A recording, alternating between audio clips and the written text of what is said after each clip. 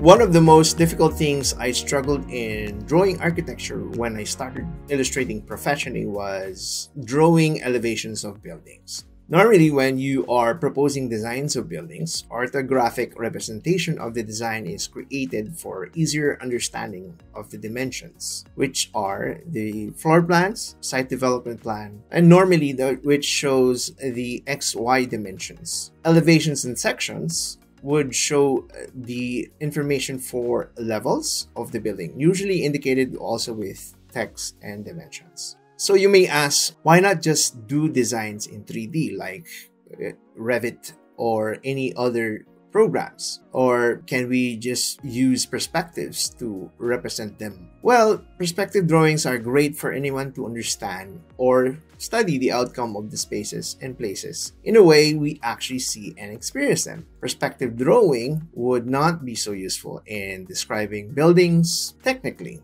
for designers or engineers who will be working on the actualization of the construction. You can't measure perspective drawings with a scale ruler to give you the information for depth or width or height on paper. Working with uh, digital 3D programs help in understanding during the design phase.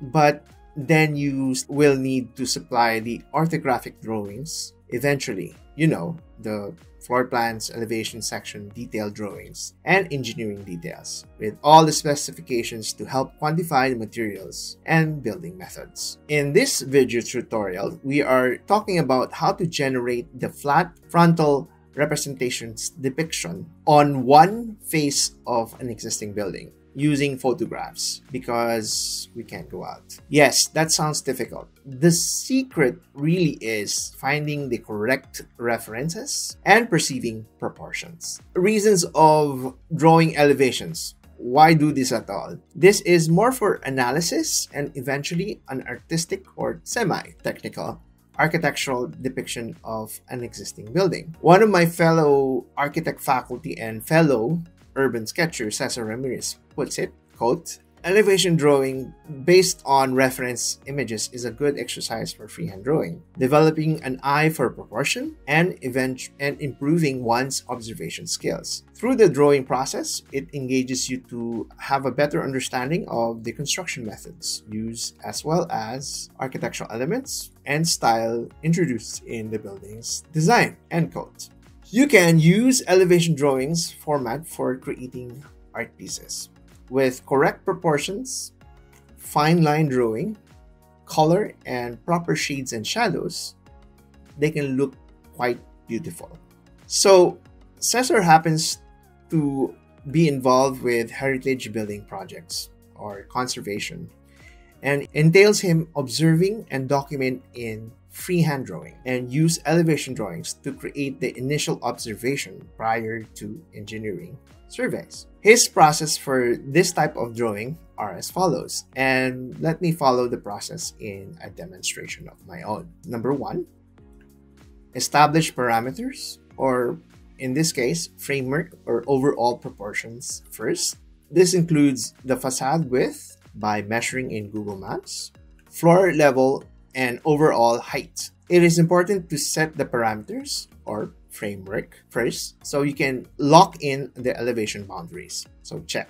Number two, once you have established the facade width, you can now come up with a more accurate estimate of the building heights by, by proportioning through referencing on available photos of the structure. Check. Number three, from here, you can Divide the facade into smaller areas since most buildings, especially heritage buildings, have a more traditional facade design. You can look for columns or frames that divide the facade vertically. Check. And lastly, number four, after setting up these parameters or framework, you can now start with detailing the elements of the building. Throughout this process, be particular with alignment and size of the parts apply the standard sizes of wood, windows, doors, and other elements to achieve a good overall elevation drawing. So check.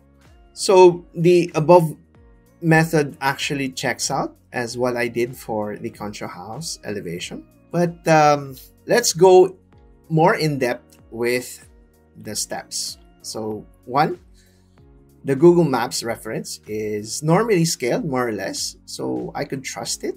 Now, what I do is I switch to satellite view, zoom in as much as possible to the target building that on now, now you can see the top view and normally you can see the provided scale bar in this zoom setting it shows the Concho house with a scale bar with 5 meters. Make sure that when you print out the image, the scale bar of the Google Map should be included. Now, if you don't have access to a printer, you can just use the image on the screen of the computer monitor. Using a post-it or any small piece of paper with a straight edge, replicate the 5 meter scale bar and start measuring the roof edge. In this case, the measurement of the roof front edge is 14 meters. So step number two, it would be always easier if you can get a picture reference facing the facade of elevation you are drawing. So I determined that the eye level is usually about 1.5 to 1.6 meters when somebody is taking a picture normally. This is important because I can determine or intelligently guess the height level based on this information. To determine the width, I have to guess the relative measurement with an established eye level of 1.5 meters. You can get cues from vehicles or heights of doors and uh, window sills. Like window sills would be like 0.9 to 1 meter doors can be uh, roughly about 2 meters. So the eye level would therefore be something like 3 fourths of the height of a door. Now you can approximate the height of the levels using again a small piece of paper and mark up the relative vertical line. So in the case of my, this example, I have determined that the facade of the house is about 6 meters high 12 meters wide and with a 14 meter front roof edge. The eaves of the roof are usually 1.2 meters from the wall and I have just rounded off the offset from the walls to something like 1 meter just to simplify things. So relatively it's it's roughly about 2 squares of 6 by 6 side by side. So it's 6 meters by 12 meters. Take note that the roof can be as high as one floor level and in some cases even more. Old houses usually would have steeper roofs. Here I am showing you a clear markup image of what I what the determined measurements are. These are approximated, of course, but I am making sure to show that the result to be as proportioned as possible. You can further subdivide the grids per meter interval if you want. And then step 3, with the proportions or dimensions determined being a facade wall measuring 12 meters by 6 meters in height, start light penciling the edges of the building. Start with the general shape. So I am just drawing two 6 by 6 meters side by side. With a markup image reference, establish the levels, divisions of the walls, and panels. Here, there is a distinct three bay facade with each bay further subdivided into six segments. Four, if you have roof eaves, they would be again be one meter from the walls and the pitch of the angle of this roof is roughly about 30 degrees. Step 5, now you can start drawing the ink lines or details once you are sure about where things are. A thin or 0.3 m felt tip pen is recommended. In this demonstration, the most important take is how to determine dimensions of the facade. Spend a good time on solving this first, and then when and only then draw the details once you are sure of the proportions or the framework. Step 6 place in the shades and shadows. Best if you can find pictures showing this clearly. Shades and shadows give cues of depth and the form of the building.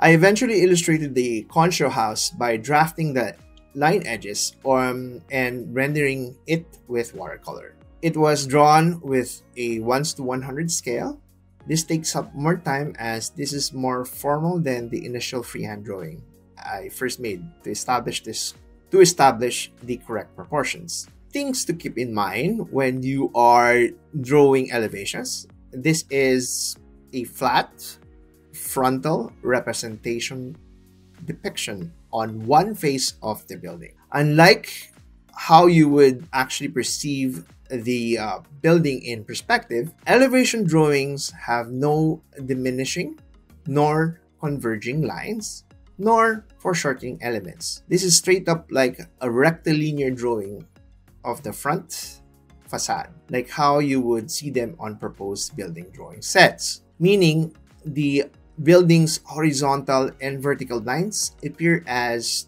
true horizontal and through vertical lines.